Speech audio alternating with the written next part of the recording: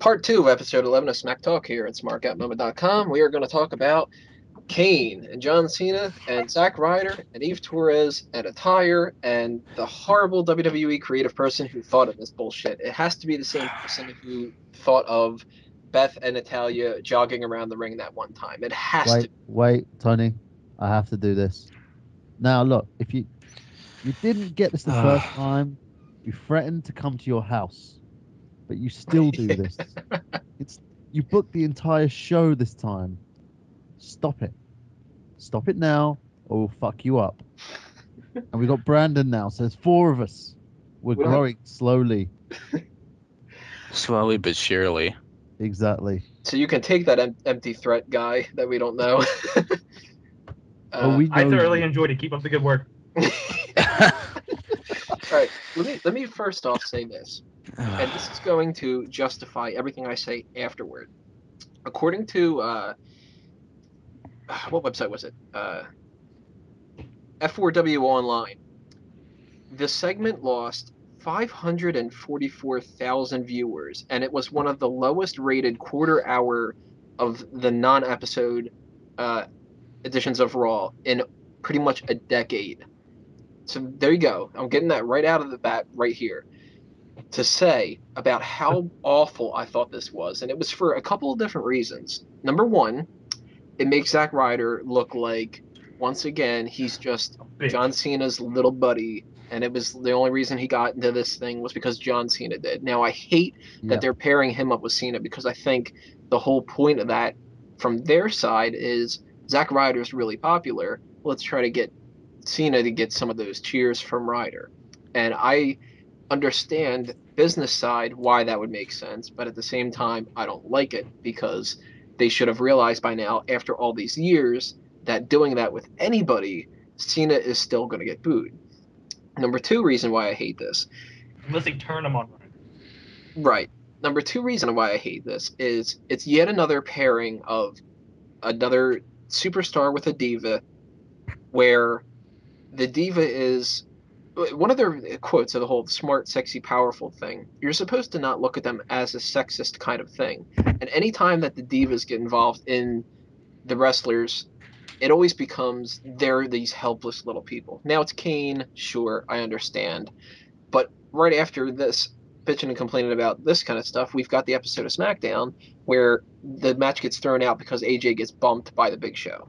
That was So- awesome. Here's another thing of that. Number three reason why I don't like this is if you're going to have a backstage segment, don't have it that fast after you have a backstage segment. What I mean by that is we just did the thing with Randy Orton getting thrown down the steps. And we haven't had a backstage beatdown like that in quite a while. So right after they do that, they do another one on Raw. Number four. If I uh, am I on four? I don't know. There's way too many here. I'm losing track. If you're going to do a backstage segment, don't have the obvious padding when you choke slam Zack Ryder. Now, I don't want you to slam him down on the actual concrete and shit and injure the Kill guy. the No. motherfucker. Kill But him. he bounced up like he was on a fucking trampoline.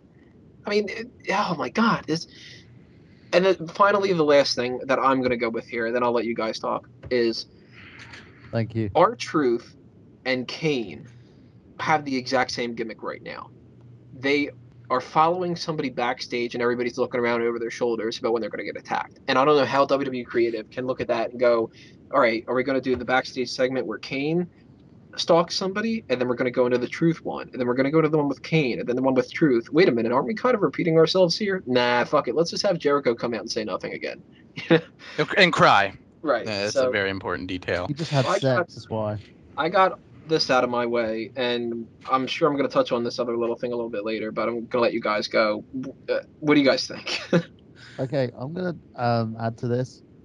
Basically, the whole Kane segment thing actually ruined three different um, like matches, three different storylines, just for, for the fact of association here, right? First one was the the Ryder Swagger US title situation, because, and I don't understand how they got this wrong. When someone's chasing after you, or if someone's attempting to kill you, would you really stop and change a fucking tire? oh my god. The thing with the tire, too, it's Was that supposed to be Ryder's car? Uh, we they didn't specify. We we don't know whose car that was. Were they jacking it? Well, Right. If it was supposed if it was supposed to be Ryder's car, then why didn't he just go, "Hey Eve, didn't you drive here too? Let's go to your fucking car." no, but I would have if someone's going after you, like if it's the fucking apocalypse and zombies are trying to eat my brain, I'm gonna run in that fucking car and drive it no matter the condition. Right. Okay. And and usually the cliche for that is that they get in the car, even in the movies, and it won't start. Right. That would have even probably been a little better. But Zack Ryder, for a whole segment, they go through the Cena Ziggler match. You know, from commercial break, he's still fixing the same back tire, and then you come back to it, and he's still on the same tire. It's like, what were you just twisting the knob for 20 minutes? What are you doing? There's a joke here of twisting the knob with Eve. Pretty yeah, much. that's what Dace was doing before he lost his connection. Medusa, not not even. he was checking out with the Medusa. but like he was apparently switching the same tire for well over 10 minutes while he's being stalked by this masked giant omnious monster he changes the same tire for It was over like 10 he was waiting for Kane. He was literally just sitting there going like, "Okay, let's see how slowly I can get this tire out, just so that Kane can come in and beat my ass." Did he even Yeah. switch the tire or was he just like took toying with hubcap it the whole time oh he took a hubcap off well at least he accomplished something in that 10 minutes but it was literally that. That tightened the lug nut. yeah. that- Also, like the car was leased and he was too afraid to do any damage. whoever's car that was whether Right. it be you know Kane's a car. civilian's, Kane's, or anybody else's. It was somebody's car. The next and time, appa- whoever cars that is, take your own fucking tire. Don't let Zack Ryder do it. That segment made me think that. Kane hates Ryder more than Cena because he gave him the more brutal attack. Isn't his whole thing about Cena embracing hate, yet he chokeslams Ryder off a ledge and Cena only gets a, a face to, like his face crushed by Kane's hand? Yeah. See, there's a okay. joke in that as well. He doesn't want to see him. Yeah. So Dace, That's you like like this? embracing hate, it's embracing man rape. Yeah. So Dace, if you liked this episode of Raw, did you like this segment? Because what the hell, man? Because it took up a good portion of the show. I loved it. I loved it. It, it felt like that cheesy 90s stuff they used to do. It, it just we lose you again. kind of took me back like I was a kid, and I was yelling, "On you! He's behind you!" And I I think it was more directed towards kids than the uh, typical us, because it was directed towards us. It would be in the middle of the show, and a lot less. Well, apparently it wasn't directed towards Well, anybody enjoyed it. because it Um, lost I didn't enjoy- 550,000 people.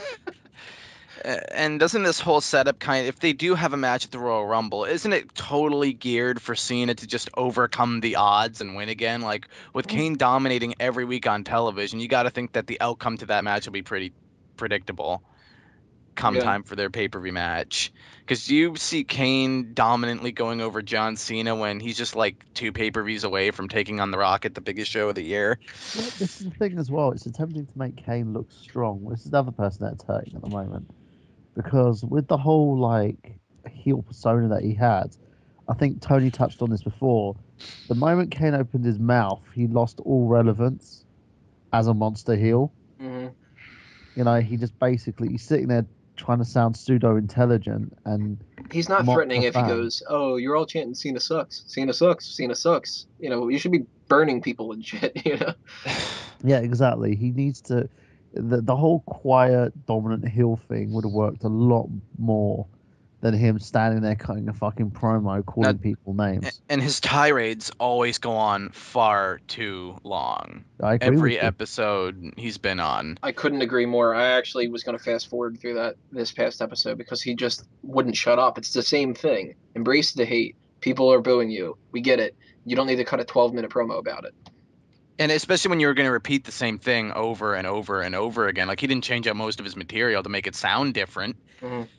And uh, I think the one at the end of last year, yeah, I'm, that's kind of early to say that, but the one at the end of December was probably the worst. Like that felt like it was like a half an hour long, and it was just him constantly pounding the same thing over and over again. And yeah, I wouldn't be surprised if that killed a lot of viewers at the beginning of the show.